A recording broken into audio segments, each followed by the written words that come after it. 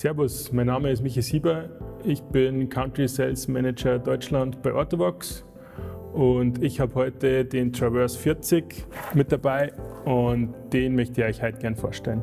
Mit dem Traverse 40 bekommt unsere Alpine-Serie jetzt einen großen Bruder und es gibt zusätzlich zu der 40 Liter Variante eben die Kurzversion in 38S. Das heißt einfach, wir haben hier ein kürzeres Rückensystem und äh, eben auch kürzere Schulter- und Hüftgurte für Damen bzw. auch den kleinen Herren. Wie bei den anderen Rucksäcken der Alpine-Serie kommt der Traverse 40 genauso wie die 38S-Version mit dem Comfort Contact Back System. Das heißt, wir haben hier fünf luftzirkulierende ähm, Polster. In Kombination mit den Schulter- und Hüftgurten lassen sich auch schwere Lasten bei Mehrtagestouren angenehm tragen. Features wie eine Trinksystemvorbereitung, eine durchdachte Stock- und Skibefestigung sowie eine Regenhülle gehören bei der Serie zum Standard.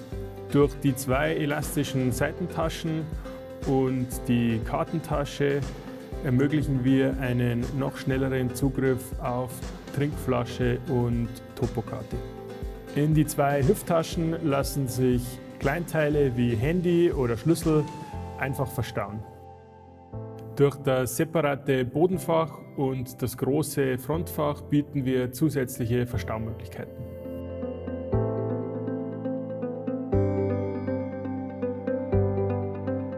Die Orthovox Notfallkarte ist standardmäßig in allen Rucksäcken und Notfallprodukten integriert. Die Notfallkarte enthält alle wichtigen Informationen, um eine optimale Versorgung für Ersthelfer und Bergretter zu gewährleisten. Der Traverse 40 als Mehrtagesrucksack hat ein sehr geringes Gewicht, eine üppige Ausstattung und einen wirklich guten Tragekomfort.